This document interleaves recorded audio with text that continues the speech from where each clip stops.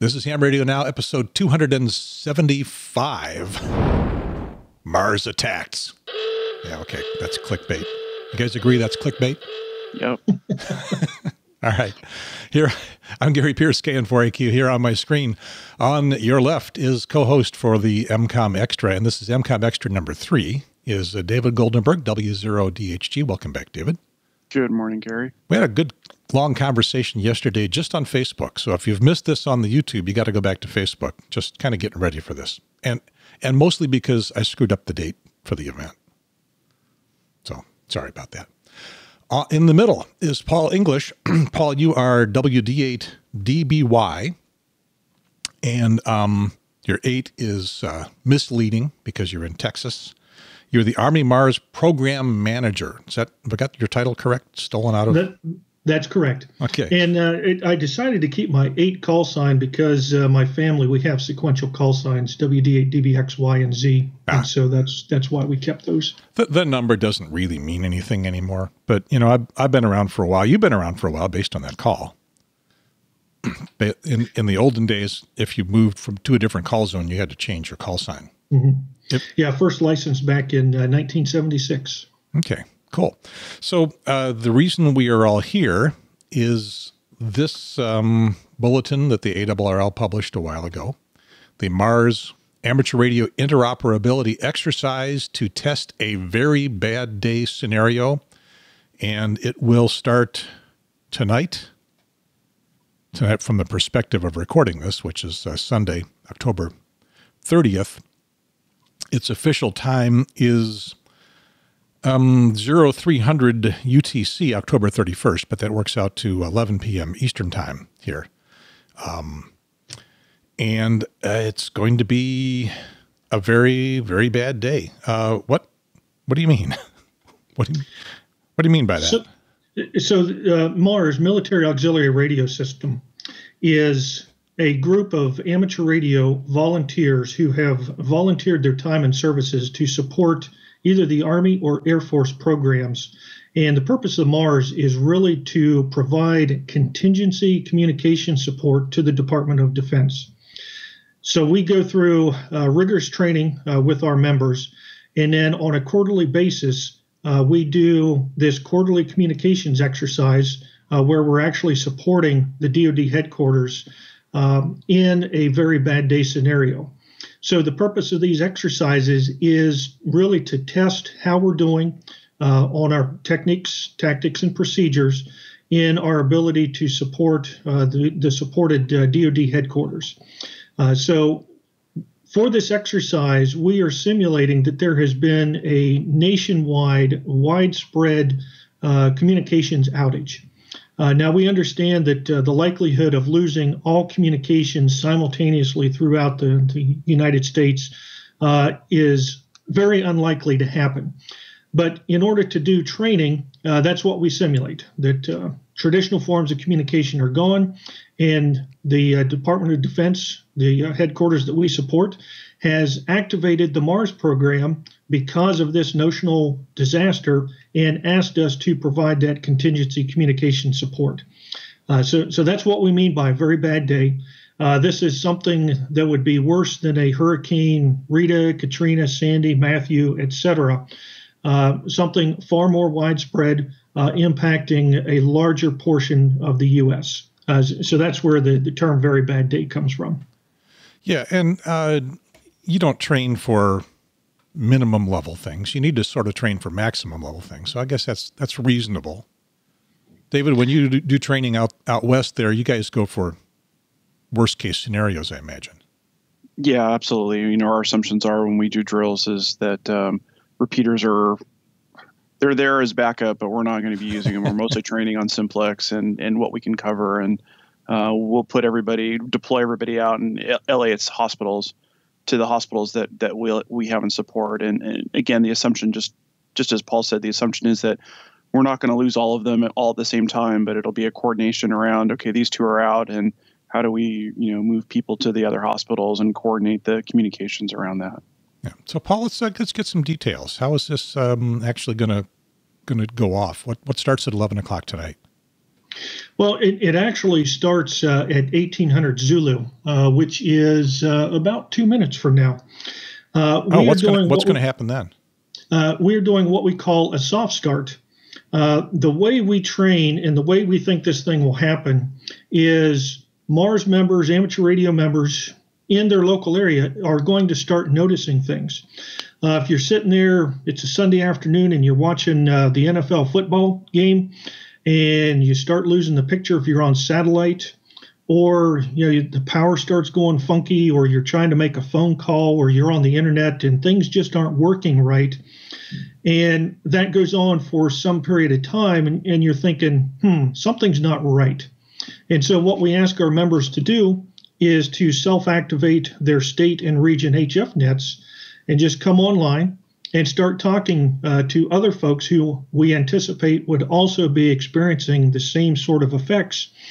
And from that, we're we're activating the network essentially from the bottom up.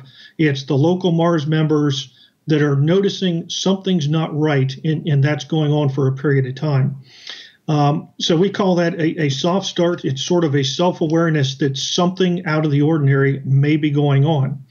And so you'll we'll have members start activating HF nets coming up on the air, talking to other Mars members, trying to gain situational awareness about what's going on.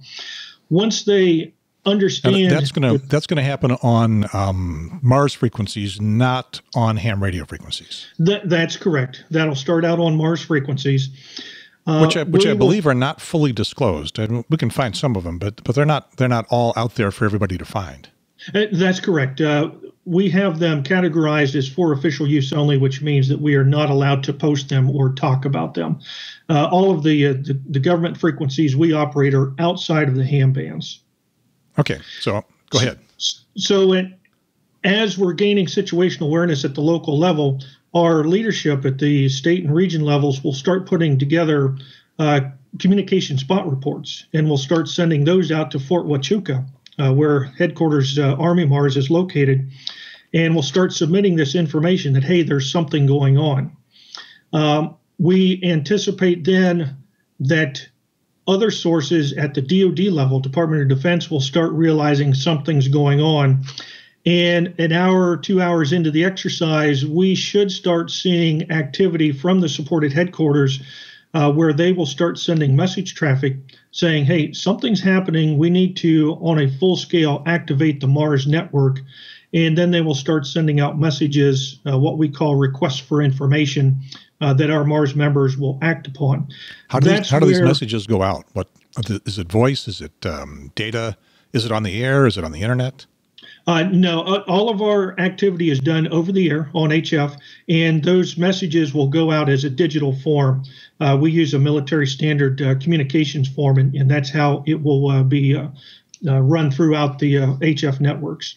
Are your members pretty much monitoring their data network all the time? Is this something that gets spit out pretty much well, instantly we, to them? We have a, a couple of different modes uh, we have a, a an ALE automatic link establishment uh, messaging system out at Fort Huachuca, where those messages can be put on the ALE network and broadcast automatically on the ALE networks um, at a specified period. Right now, we do a six-hour broadcast, but that can be upped uh, to as often as we need to start getting the word out. Uh, and we have members who have ALE stations uh, throughout the, uh, the U.S., and they will start receiving those broadcasts, uh, decoding those messages, and then start acting on those. Uh, for this entire exercise, we do it radio only, HF, uh, VHF. Uh, we do allow our members to use repeaters as long as they are non-internet linked, no IRLP, no Echolink, etc. as long as they are radio to radio linked, that's fine. Uh, so everything that we do is strictly radio only. Now, you, you asked the question about monitoring uh, the broadcast. So we have the ALE broadcast, and then we also, uh, unlike on the amateur bands, on our frequencies, we're allowed to, to simultaneously run voice and data. So we'll do all of our net coordination via voice, and then when we have messages to send, we'll automatically uh, send those on the same channel, or if there's a lot of traffic, uh, we'll move folks off to a working channel uh, just so we keep the main calling channel free. Do you have lots of uh, lots of spectrum available to you? Um, multiple channels we- in this on the same same bands, basically. Yes, we do. Uh, we, we have um quite a number of frequencies, you know, in all band ranges, so that we have uh, frequencies for any time of the day uh, to account for propagation factors. Yeah, and are these pretty much exclusive for your use? Uh, do you have to compete with anybody for their use? Uh, all of the frequencies we use uh, are approved by the Department of Defense and coordinated through uh, NTIA. Uh, some of the channels that we use are shared uh, spectrum, and some of them are dedicated for us. All right, and but you don't have to compete with someone kind of squeezing in from the top or the, a- a little above or a little below, like we do on the ham bands. Uh, we do actually. Uh, Oh. Some of our some of our channels are in the uh, the AM broadcast band. Oh, really? And, uh, yeah, yes, yeah. So so we we will have competition from some of those AM broadcasters, et, et cetera. Uh, some of the other federal services uh, may be you know uh, pretty close to us, and depending on how clean their signal is. How clean our signals are, you know, there there may be some crosstalk there. So yeah, just like on the ham bands, we, we have to uh, to compete with Spectrum as well. Okay, yeah, I've been, I've been saying um, for a long time that the reason, like our North Carolina ARES group uses Mars frequencies, is because they don't have anybody encroaching on the edges. I'm going to have to stop saying that. I guess I was making a- an invalid assumption. Darn. Roger. All right, so uh, those are the messages. Uh, I guess uh, it's uh, 205 right now. The messages have, have started. At least people are are sort of self um, announcing. Uh, They got your your members got the word that I guess they make up their own little individual scenario, and then they start sending something out.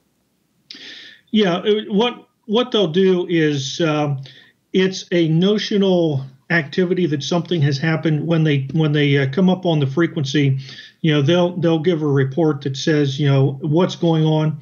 Um, in some cases, everything may be fine. In other cases, you know, somebody uh, may actually be using backup power, you know, just to test their generators, and so they would report that. Uh, now, when it comes to the information that we'll be uh, asking from the amateur radio community, uh, we are asking the amateur radio operators to report absolutely real world. So if everything is functional, that's what we're asking them to report. And that is what begins today at um, 11 p.m. with a broadcast of some sort coming from. Yeah, so so the broadcast we're doing is, is something new. Uh, we've been toying around with this idea for about a year. Uh, we are looking for a means where we can have a single source uh, available to do informational broadcasts uh, to not only Mars members but also to amateur radio operators. Uh, following a, a very bad day, you know, a very bad day has happened. Where can you go to find out information about what's going on or where assistance may be needed? And so, um, uh, really, last year is when the 60 meter channels came into their own. Uh, the power of 60 meter channels is the Mars community, we now have joint authorizations to use those frequencies once we coordinate that effort with, uh, with the FEMA spectrum managers. And the power is that the amateur radio operators have secondary use of those frequencies. So, unlike Armed Forces Day, which happens every May, where we'll be transmitting on on uh, Mars frequencies and listening on amateur radio frequencies to communicate on 60 meters, the Mars stations, other government stations, and the amateur radio operators can be on the same channel, uh, talking to one another. So it, it really eliminates uh, you know having to do the crossband piece. So so that's really what we're trying to promote. So as we explored this idea, uh, we enlisted uh, the assistance of a military unit uh, on the East Coast, and we have our Fort Huachuca HF Gateway uh, out towards the West Coast. And on 60 meters, our spectrum authorizations allow us to run up to uh, three kilowatts, whereas the amateur radio operators are are only authorized 100 watts. Yeah, I was I was going to ask about that. So you're anticipating just about all my questions here. okay. Um, but but um, let, us go into the 60 meter thing a little bit more because I've always been um, interested and curious. It was um, a little over a decade ago, I guess, uh, sometime in the 90s, that we uh, we got our initial allocation of 60 meter channels. I was on on day one. Um, and I didn't do the research to remember what exactly day day that was. the excuse, um, the the the logic that we presented to NTIA for spectrum there was that in the daytime, 80 meters can get too short, mm-hmm. 40 meters can get too long, and we're talking about distances uh, on on 80 meters it would stop at about 100 150 miles or so. When, for example, North Carolina is over 300 miles wide, we couldn't cover the whole state on 80. But 40 would be just a little bit too far, and there'd be some big skip zones. So the sweet spot would be then 5 megahertz, 60 meters. We could use some spectrum there. That's what we said we wanted. That's not what we've done. Um, we have not, for the most part, utilized 60, especially in the daytime. Um, and we use it as typical hams at night for rag chewing and DX and stuff like that. So I don't think we've followed through on the thing we said we needed 60 meters for. And that's why this activity particularly caught my eye because you're going to be using 60 meters. So um, how, how does that work from your end of things? Yeah, it, it falls right into the original purpose.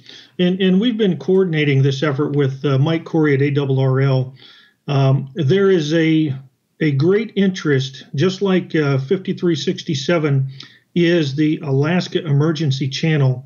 Uh, there is a lot of interest in having a similar 60 meter channel or set of channels uh, established for the Pacific area, for the continental United States, for the Caribbean Atlantic area. And so we see this effort as really promoting uh, the use of 60 meters for that emergency type of operation. Uh, and, and, like I said, you know that the 60 meter high power broadcast, what we're trying to do is generate interest in 60 meters because uh, right now it's not really that popular. We a lot of amateur radio operators don't have antennas cut for it. So you know by doing a high power broadcast, um, you know anything, you know, a piece of wire hanging in the air, you should be able to receive it. You know you don't need to be cut for it. And, you know, we wanted to test the power of this thing by sending out an informational broadcast. And as part of that broadcast, we will ask amateur radio operators, shortwave listeners, etc., uh, to submit a reception report uh, to tell us how we did. And what I want to do is, as we receive those reception reports, my plan is to plot those on a Google Earth map and then publish that following the exercise that shows how we did from both the East Coast station and the West Coast station. How will you receive the reception reports? Is that just by someone talking directly to you on the frequency, or do you get them by email? Do you have a website? Yeah, uh, the instructions will will be in the actual voice broadcast. It'll it'll be a website uh, that we will ask folks to go to, and uh, uh there's just a few simple questions on there about uh, you know a standard reception report. Excuse me, just a second. I've got an ALE broadcast coming in. Oh, cool! Turn it uh, up. Can we hear it? Uh, it, will be it'll just sound like a bunch of oh, it's data. It's just all data, right? Yeah. Can you hear that? Yeah. Yeah. Which is yeah, that's the uh, the military standard, the Mike 110 broadcast that's coming in. It, as part of the exercise. I have no idea what that is. Uh, it's a Mil Standard 188 110 Alpha is the official name. Um, it's a serial phase shift keying uh, form of modulation uh, that the military uses and that we have uh, compatibility with.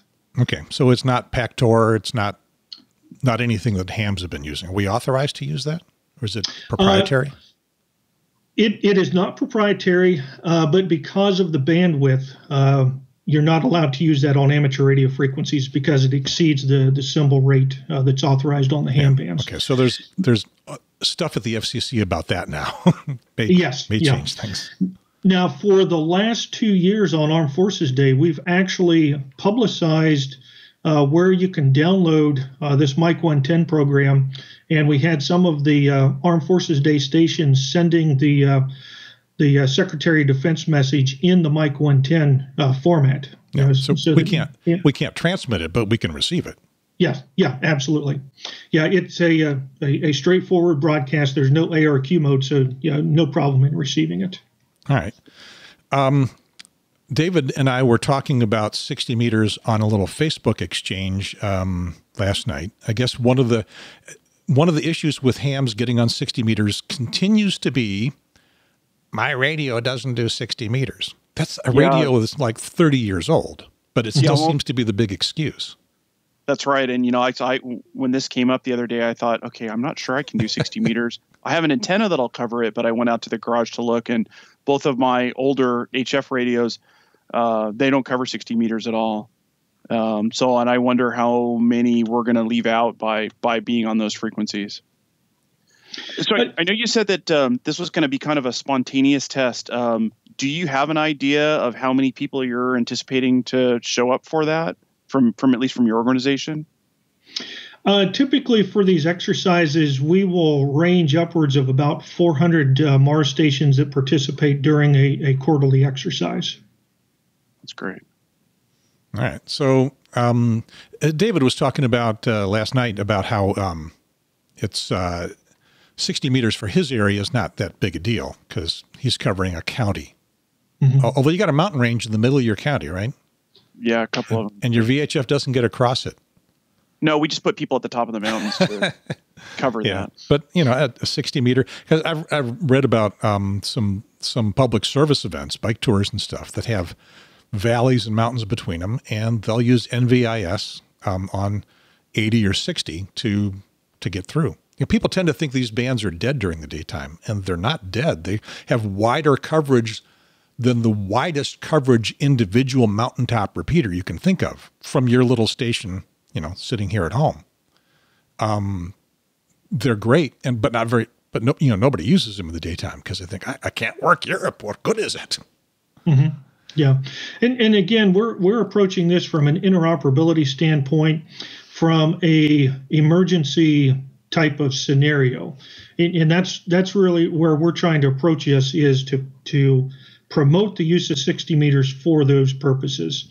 Uh, this past summer, I, I, got to participate in a Northcom sponsored exercise where we had some uh, Air Force uh, Reserve uh, comms units uh, on the air and uh, they fired up their HF gear, and we were specifically doing some work on 60 meters. And it just so happens that uh, one of the mornings we fired up uh, the radio, uh, there were some amateur radio operators on the 60 meter channel, just talking away. Uh, they they held a, a regular uh, session every morning on that frequency, and I jumped in with my government call sign and explained to them that we were doing a communications exercise with some Air Force personnel and just asked if they would uh, like to help us out uh, doing some uh, voice message traffic. And it was it was interesting. They they came back and said, "Well, we've never done that before, but sure, sounds like fun. We're, we're in." Were they a little bit con- concerned that am I, am I allowed to do this? Can I talk to you if you don't have a ham call sign? No, no, there was no concern at all. At all, they were more concerned that they had never done anything like that before, and so they they were just a little unsure of what we were asking but I walked them through it, and, and they, they were happy to do it. And after we uh, signed off, I, I listened on, on, the radio for a little bit longer, and uh, it was funny listening to them. They were all excited. They said, "Hey, that was pretty neat. We've never done that before, but hey, you know, that was fun." Yeah, that was pretty cool. There, there's um, at least down here in the southeast, there's a bunch of guys who use it in the morning until um, the the band dies to the point where it doesn't do 400 miles anymore. You know, it goes down mm-hmm. to 200 miles or so, or they most of them seem retired. I don't think they're going to work, but they're go off and do other stuff. But that's when I hear the activity. But after about 10 o'clock in the morning, it's a ghost town. Mm-hmm. So I, I, guess what, what I'm hearing is you agree. It's time to get 60 meters going again or yeah, going for the first time. Yeah, and absolutely. And, you know, it really comes down to the point of, you know, the, the old adage, use it or lose it. And so we are really trying to promote the interoperability piece for emergency coordination uh, between government and amateur radio operators. Yeah. Uh, that's really Although you are, you are starting at 11 p.m. tonight when the band will be wide open. yeah, and and we did that um, on purpose. Uh, when we did the VOACAP uh, uh, propagation analysis, we were going for as much coverage as we could get again, uh, going for as much widespread promotion as we could get. And, you know, when we did the VOACAP coverage, uh, like I said, the East Coast station, they'll be running our max authorized at 3 kW. Uh, we have uh, almost the entire continental U.S. at about 85 to 90% coverage. Uh, we're up into Alaska at about 70%. Uh, we're over into Western Europe at about um, 70 to 80 percent coverage. Uh, and and that's what we were going for, you know, to, to, to maximize the amount of coverage, to maximize the the number of amateur radio operators who should be able to receive the broadcast. And it's just going to be from those two um, coastal stations, uh, no stations in the in the center of the country. Uh, that's correct. Uh, we, we, had the resource on the East Coast. We had the, the resource on the West Coast. Uh, we didn't have anything lined up uh, in the middle of the, of the, country. You know, that's certainly something we could look at in the future. But you know, proof of concept, and uh, you know, we'll see how this goes the first go around, and then develop the concept from there. All right. What goes on from there? It starts at 11 for, I guess, for an hour. They're going to ping pong back and forth between East and mm-hmm. West, or, mm-hmm. and then what happens after that? Um, that'll end the uh, the broadcast piece of it, and after that, uh, our Mars operators should have the request for information, um, asking them to uh, to go out and start contacting amateur radio operators and start uh, you know finding out what's going on ac- across the U.S. Uh, at at the county level. and so. and that will really take uh, take up the rest of the exercise is to give our folks plenty of time to reach out to the amateur radio community on those established VHF and UHF repeaters on those established nets and just soliciting that type of information. All right. So it's going to quiet down on 60 at that point, or, or it, will there be overnight activity continuing on 60?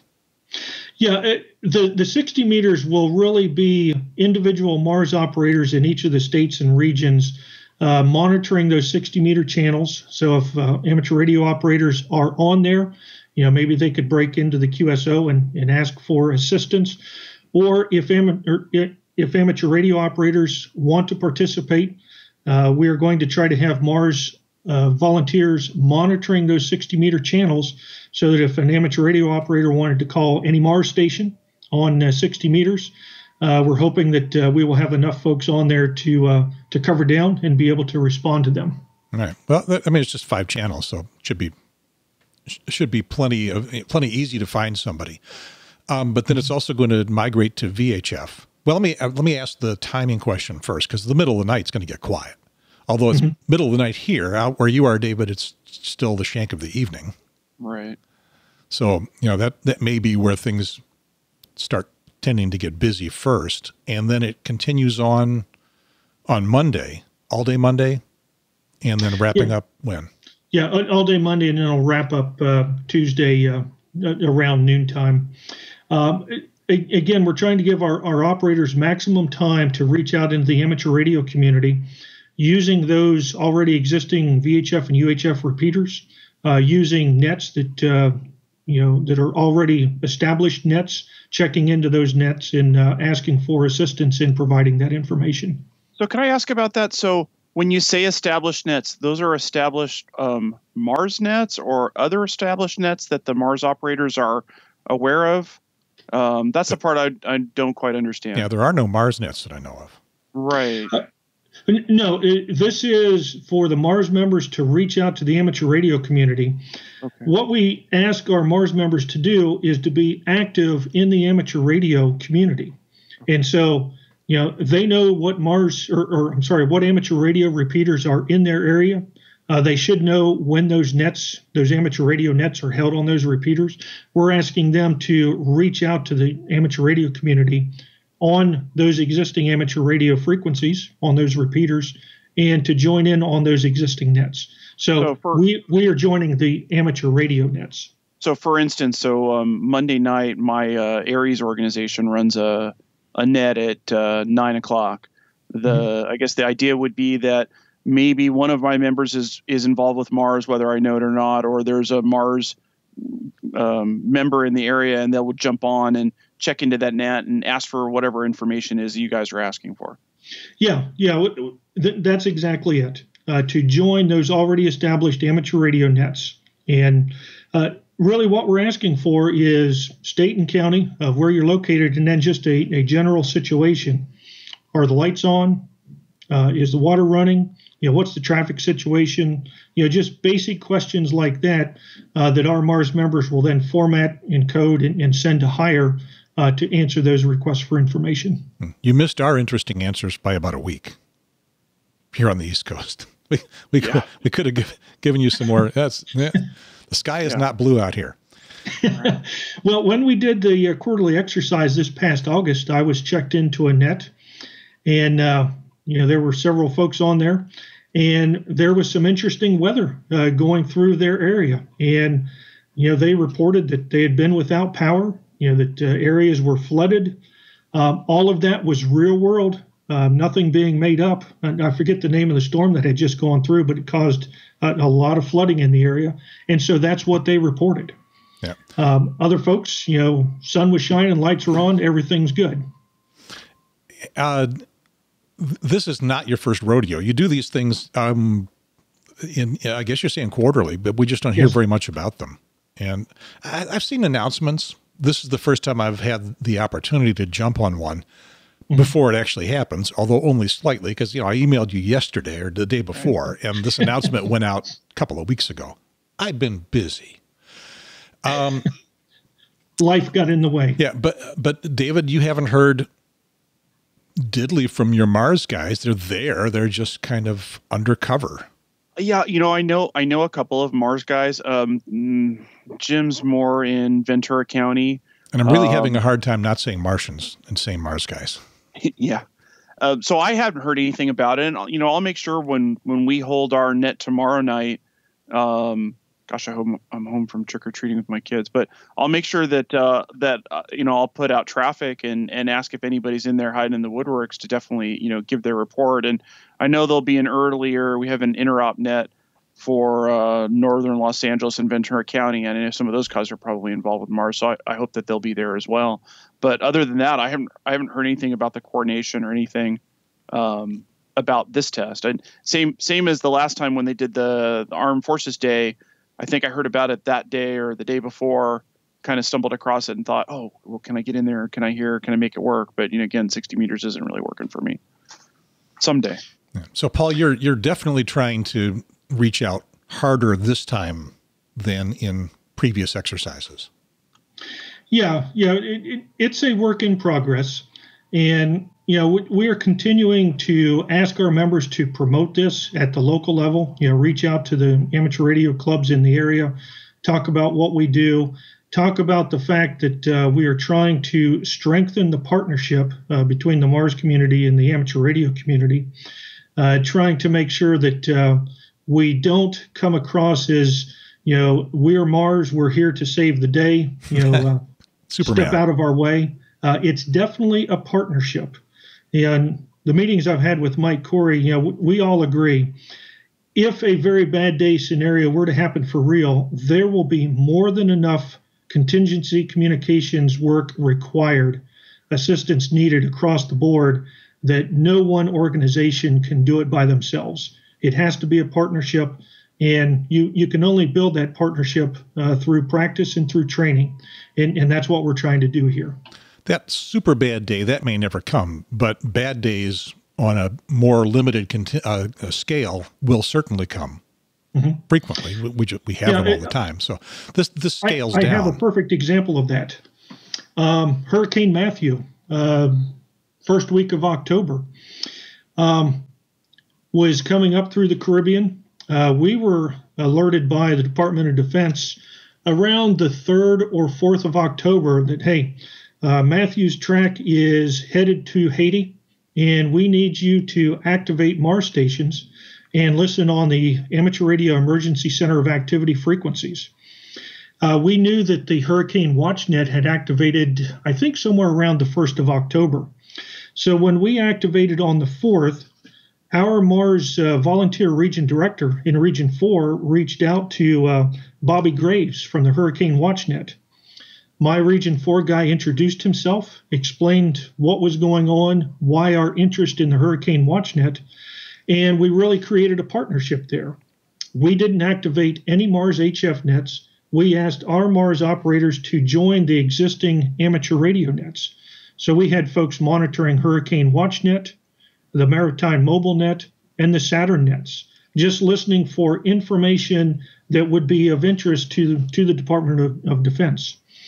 Uh, Bobby Graves uh, was able to contact amateur radio operators on the island of Haiti and got some pertinent information pushed it to us, and we posted it to a portal that was being used by the U.S. Southern Command, who is responsible for that AOR, that area of responsibility. Within two hours of us publishing that information, we were contacted by a, a member of the 24th Marine Expeditionary Unit saying, Hey, great information. Here's some other questions that we have. Can you help us with that? So we sent that back out to the Hurricane WatchNet, and we ended up publishing either two or three more informational bulletins to that website. And we received uh, queries from U.S. Southern Command as well as uh, a Netherlands uh, disaster response team looking for additional type of information. So again, we didn't activate a single HF net. We partnered with the amateur radio community and was able to provide useful and timely information to assist those units who were responding to that humanitarian disaster. To me, that's a win-win partnership. Interesting, because we don't very often get to hear the um, the actual results communications that, that goes on. And so it's mm-hmm. good to get some specifics. One thing that caught my attention is how long it took. Uh, it, it, it, was hours from pinging back and forth these pieces of information. It was not instantaneous, but stuff yeah, still got it, filled in. Yeah. And, and again, our information is posted to a web portal and it just depends on how many people are looking at that portal and when they come in and look at it. You know, so that, that, that accounts for some of the time lag. And but at, at the end of the day, the information that was provided was relevant and useful, and we were able to do that through the partnership with uh, the amateur radio operators. So to me, win-win. Now, did the um, when when you posted the uh, the stuff that you were hearing and somebody saw it, were they going, "This came from who now?" Or did they know um, who you um, were? Uh, no, there was no questions like that. Um, it was more of hey, this is useful information. What else can you provide for us? Uh, we've been practicing these types of scenarios for about three years now. Um, if you remember the uh, Nepal, uh, Kathmandu, Nepal earthquake that happened in April of 2015, yeah.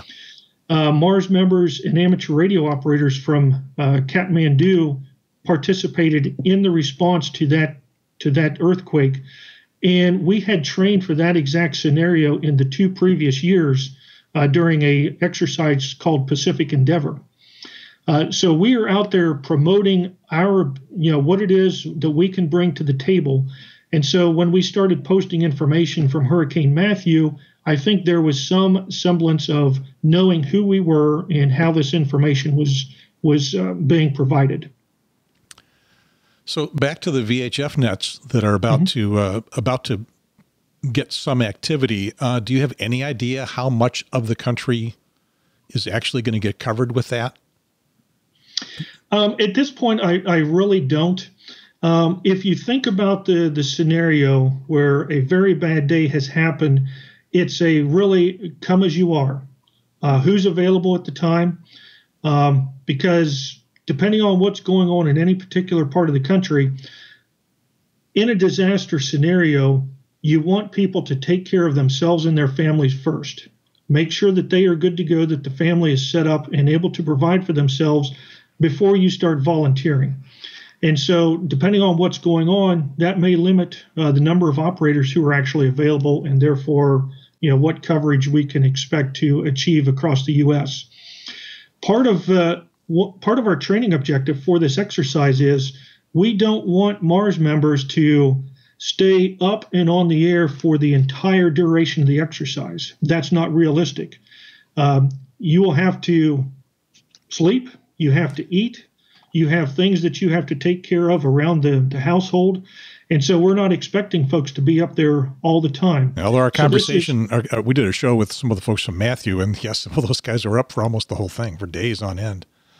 So it can yeah. happen, but yeah, you don't it, want it, it to. Can, yeah, it, it can happen.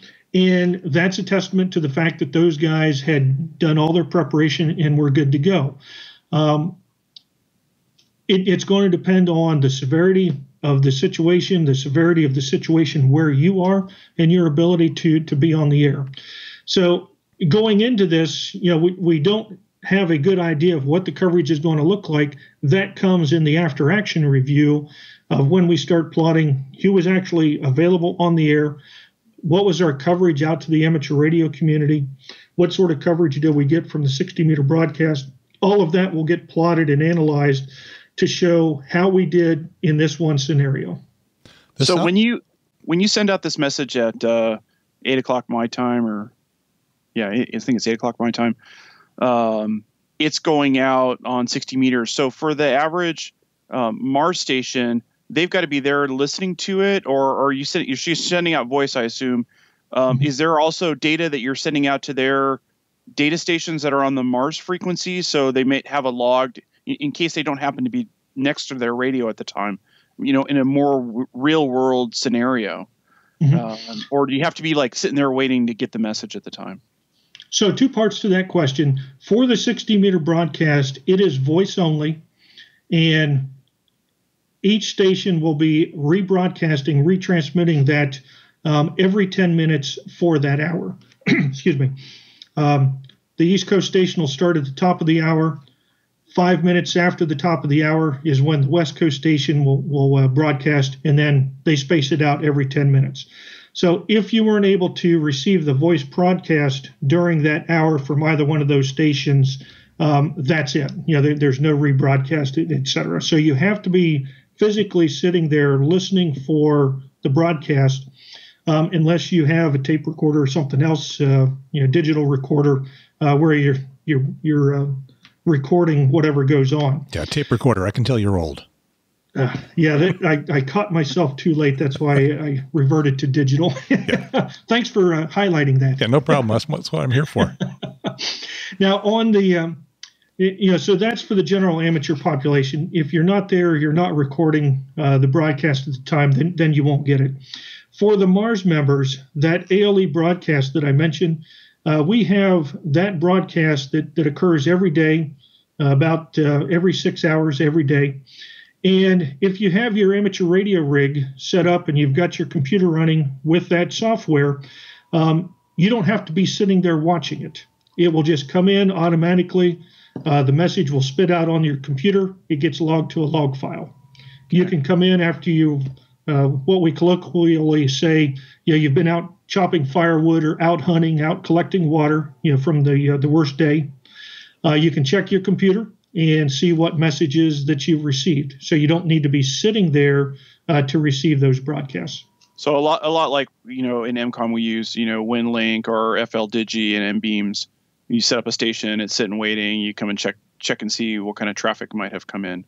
Yes, okay. e- exactly. In okay. in uh, one of the things we've been talking about in ham radio is um, our embarrassment of riches in both frequencies, spectrum available, and modes available, which is a great thing in, for the ham part of ham radio. But for the EmComm part of ham radio, it's hard to get locked down, hard to get everybody on the same page, same frequency, same mode, hard to advance. You know, we all tend to stick with the least common denominator. And I'm seeing that in the message that you're giving to hams, which is don't worry, you don't have to use digital modes.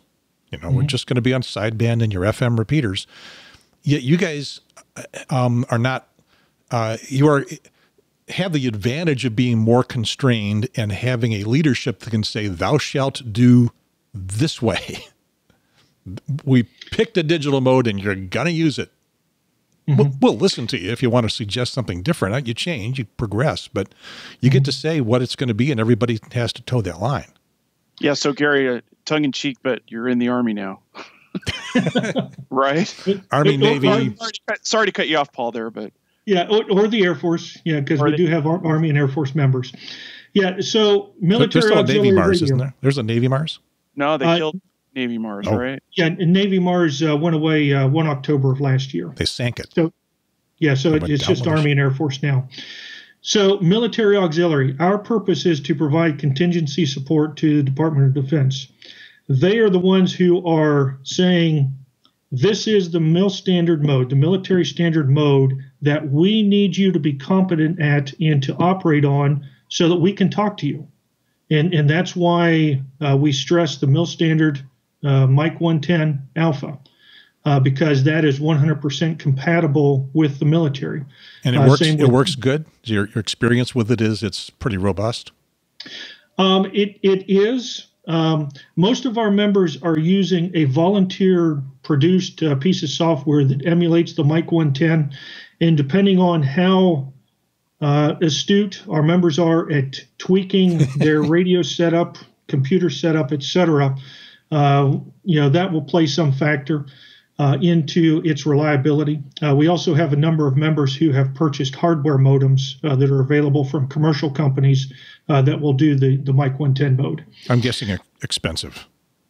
Um, about uh, comp- comparable price to a Pactor modem. Oh, well, yeah, okay, so that's expensive. yeah, I was going to ask about that. The the the station. What's the, you know, what does it all come to? What does it all look like? uh, when it's all said and done to get up and running? Uh, look at a typical amateur radio setup, and that's what most of our members have. Um, the the Mic 110 program, the software program, that's a sound card program. So if you can run uh, RTTY on FL Digi or MixW, or if you can run MT63 or Olivia, you can run the Mic 110 program. Uh, either direct USB connection to the radio or sound card interface um, it is all that it takes. So a SignaLink and a and an appropriate radio hooked up to it. That's not yes. that's not too uh, too hard to go for. No, and, no, and maybe not. in a couple of years we'll be able to talk back or transmit the mode. We can't talk back because we can't we can't use that frequency, but we can transmit. But you can mode. on sixty meters. Yeah. Yeah, on sixty meters. Yeah, it's just yeah. when when I thought about the scenario. Um, you know, I've thought about these kinds of things and, you know, what happens, you know, when it does hit the fan and, and how do you get the message out? And I know this is kind of a different mission, but I always wondered about like the NOAA radio network as being the kind of system that you'd want to push these messages out because you probably hit, hit more people. And, and again, I guess that's not really your mission per se. Mm-hmm. I saw the, the website for the reports. I think it's cool. You guys are sending QSL cards out. Yeah, uh, we're we're going to try to do that. Um, first time ever, uh, so we're we're looking forward to that. Uh, hopefully, that will be a little incentive uh, to uh, to tune in and, and participate and listen. What are the call uh, signs? Gary, call signs of the stations that are going to be on the air. Pardon me. What are the call signs? the East Coast station will be Alpha Alpha Mike three, and the West Coast station will be Alpha Alpha Mike nine. Those sound very strange uh, to the ham radio ear. uh, distinguishing.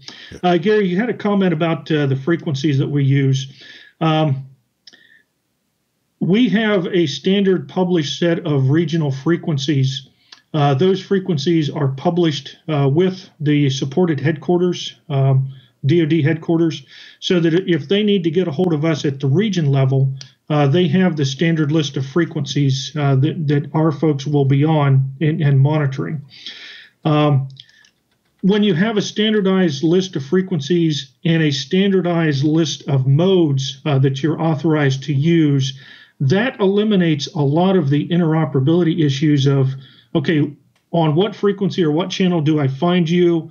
And which mode of the plethora of amateur radio modes out there uh, are you going to use and do I have access to that? In, you know, am I proficient in that mode? So, from our standpoint, by having predefined frequencies that we're using and a limited number of predefined modes uh, that we ask all members to be proficient at, that just eliminates a lot of those variables for interoperability. Okay, so we can find some of them, but you can squirrel yourselves away other places. Uh, it, it, that's true, and and and again, because Mars members are also amateur radio operators, for these county status reports, the county information, we're coming to you, and yeah, we're not asking you to find us Okay. Yeah. So but, so we're we're going to those 60 meter channels and we're going to those local VHF UHF repeaters. Yeah. I just I did a quick uh, search and you know radio reference the font of all radio knowledge is giving away your secret frequencies here. Some of them anyway. This may or may not yeah, be accurate. Be careful how far you go down. There's a couple trolls in there talking about oh. not sure those frequencies. okay. Hey, so for for membership in the organization, what kind of training are you looking for um, amateur radio operators to have to participate in this? To participate in the exercise or no, no, just as a as a become a Mars member. I yeah, what does it oh, take to what does it take to get in? Okay, um, So on the Army side, we ask that if you're a technician class, that you upgrade to general within one year. Uh, I believe on the Air Force side, uh, they will allow you to continue as a technician class. So just a, a slight difference there. You have to have access to an HF radio uh, that's capable of being modified to transmit uh, 2 to 30. So basically, you open it up. Uh, we're asking you to uh, follow all the rules and policies for the MARS program. we want you to have an active email address so that we can do coordination with you. Uh, you have to submit a monthly participation report that reflects uh, what you've done for the month. Uh, we ask that you participate uh, for a minimum of 12 hours on air per quarter uh, so that you're on HF, doing training, participating in exercises, etc. So it is. Uh, it sounds like it's pretty HF centric. It's not a VHF thing anymore. It, it is. It, our bread and butter is HF. Uh, we do do uh, VHF. Um, in the Northeast, uh, we have uh, a lot of uh, Mars VHF repeaters that are up. Uh, we even have some of those that are RF linked uh, together to, to expand the coverage. Uh, here in Texas, uh, we have repeaters in Houston, Austin, and Dallas that Mars members clustered around that area will use for local coordination. And then on the West Coast, uh, there's several VHF repeaters out there as well. But you start start HF.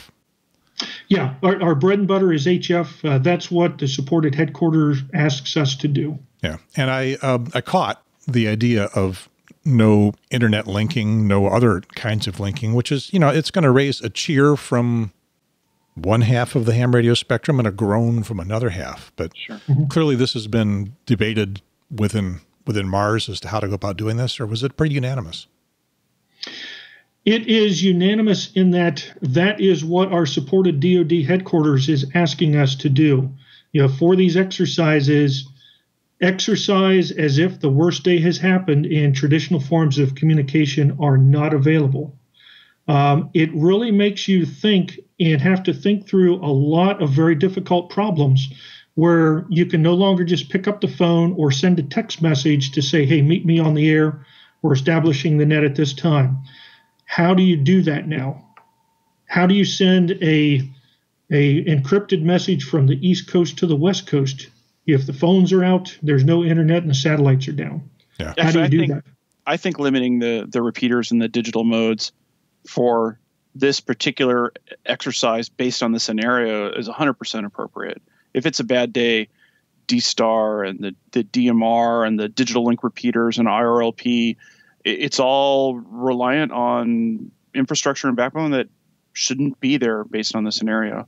So mm-hmm. I, I, think it's important that you, that they follow through on that and that the reports you get are are true to that. What is um what do you think a good outcome, a good number of reports, a good amount of information looks like from your perspective on this being a successful uh, event? Well, the, the goal is uh, we would love to see a county report from every one of the 1,343 counties across the U.S. Uh, when we did this exercise last year, uh, we had uh, 816 counties uh, that we were able to contact uh, radio, to radio, person to person. So I would love to beat 816 this year uh, just so we are showing that uh, the, the work we're putting in, the outreach that we're doing is actually paying off. I guess um, we have our work cut out for us. Yes. Yeah. I, I, do I do I recall vaguely that there was at, at some point a, an announcement that there were going to be harsher, more more tighter restrictions on radios to be used for Mars that would eliminate most ham equipment? Uh, no, uh, our ability to use amateur radio equipment is documented in uh, what's called the NTIA Red Book. Uh, it's paragraph 7.3.9, I believe. And there's a exception in there that allows uh, amateur radio operators licensed under the MARS program, as well as uh, shares members, DHS shared resources, to use amateur radio equipment. All right, and, and, there there's been no move to change that. So your your um, frequency tolerance restrictions, things like that, accommodate using ham equipment. I know you probably don't want somebody on there with a Heathkit SB 101. Our preference would be not, uh, especially since like, the, he likes the, Heathkit. I can tell he's an old Heathkit guy. I, have got a 101 on the floor right back here. um, I, our preference is we want members who are able to do HF digital. And, you know, the 101, yeah, yeah, yeah you can make it do that, but, uh, you know, plus you, you have to turn the thing on and let it warm up for about 30 minutes, you know, for the tubes to get burned in and yep. warmed up, et cetera. So, yeah, uh, preferably not a 101. Plus, getting it outside the ham bands would be tough. It was a ham band only radio. same, same with your Swan. Yes. Your Drake. Yes. All right. Um, so tonight, 60 meters. This is the, um, that's my call sign. Wait. There's your call sign. Yeah. Okay. There we go. That's the frequency. Um, for uh, with with one exception, change that to upper sideband. It is upper sideband. It is upper yeah. sideband. Yeah, you might not be getting a good signal from me. I can oh, see okay. It. Yeah. Um, uh, but every time I, I try to tell that radio to do something different, it uh, it reverts to lower side sideband, but then I come back to the memory and it's upper. Okay. Yeah. Yeah. So, I, I, guess I was seeing an, an LSB. Yep. 5330.5 upper sideband. Which sounds like uh, this right here. Because I've got a horrendous noise level during the day, but that's something I got to live with until I take the go through the effort of uh, getting the power company to bang on their power lines a little bit around here. Yeah, mine is mine's about the same. Yeah. Hopefully it'll it'll quiet down tonight. Yeah. The last house I lived in, um, the HF noise level was real low. Um, it, it, was S1 or below on 80 meters, 60 meters. It was great. Mm-hmm. Around here, not so good. Um, and look on your VHF repeaters. Prob- well, for East Coast, you know, probably not tonight, but tomorrow and that'll depend on the energy of the, the Mars members in your area, wherever you are. They could mm-hmm. pop up any net anytime. Are they likely to show up just randomly on a on a frequency and say, I'm the Mars guy, I'm taking reports, or are they is there instructions strictly to go to nets? Um, no, no blanket instructions like that. Um, last exercise, uh, a local Mars member here popped up on uh, on the local repeater and did just a blind call. And uh, there was someone monitoring came back to him, and they they collected the information. You know so it, it's whatever the mars member is comfortable with. You know if you hear activity on there if you got time uh, hopefully they're going to jump in. Uh, hopefully they're going to uh, jump in on those established nets as well all right i was going to say on the internet thing uh, all the hams and EmComms say yeah we we just use the internet as a tool um, but we know that it could go down. It could go away from us. So we, you know, so we don't rely on it. But I don't know that that's going to be so much true when they're actually doing stuff until it disappears on them and they scramble to find their way around it. Mm-hmm. On the other hand, I will say, I reached you by email.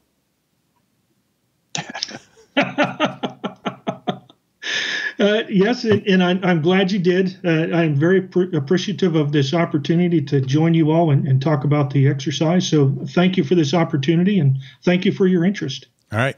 Let me uh, just do a quick uh, wrap up here. Ham Radio Now is brought to you by you, you guys who help support us.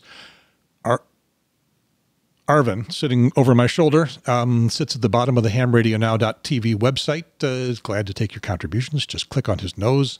He'll send you to the uh, contribution page, which includes Patreon for a monthly contribution, or PayPal for um, for an individual, uh, you know, one at a time, or uh, just ordinary credit card. There's three ways to do that. So stop by there. Thank you very much for your help keeping all this stuff going.